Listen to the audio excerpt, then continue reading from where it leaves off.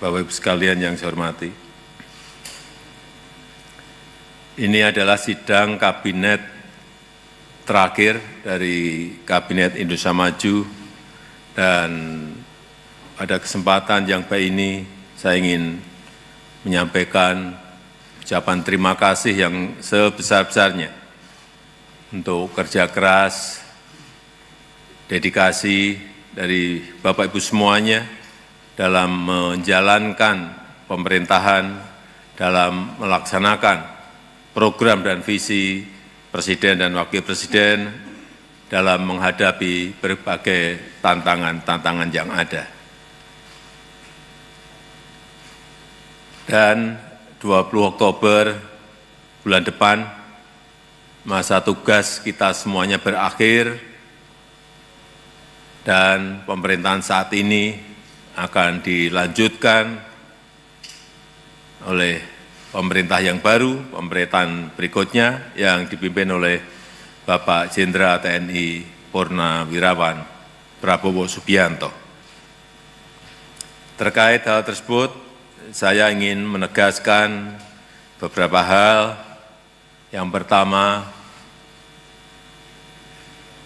segera tuntaskan di bulan terakhir ini program kerja utama yang sudah dimulai, baik yang berkaitan dengan serapan, yang berkaitan dengan administrasi pertanggungjawaban, serta kendala-kendala yang belum terselesaikan. Yang kedua, kita semuanya harus mendukung penuh program Presiden terpilih, pastikan transisi pemerintahan berjalan efektif,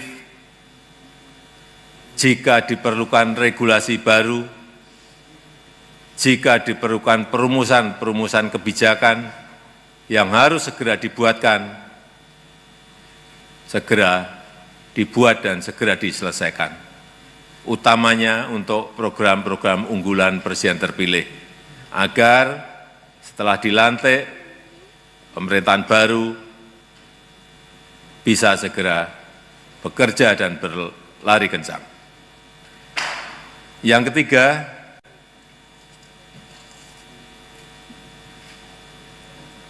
menjaga situasi yang kondusif. Kita butuh stabilitas untuk tetap tumbuh.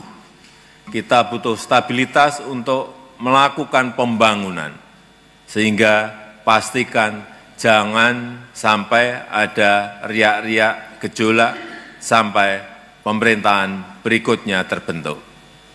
Artinya,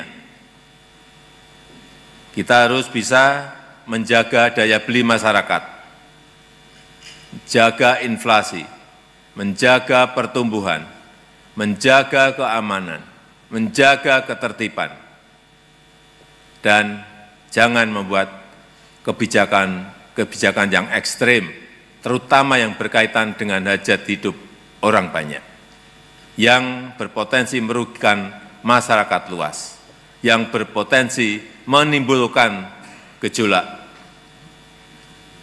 Terakhir, saya juga ingin memohon maaf kepada Bapak Ibu semuanya jika dalam 10 tahun ini ada hal-hal yang dirasa kurang berkenan dalam berinteraksi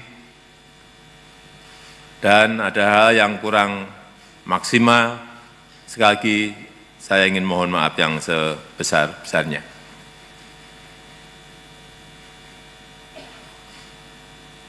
Saya rasa itu.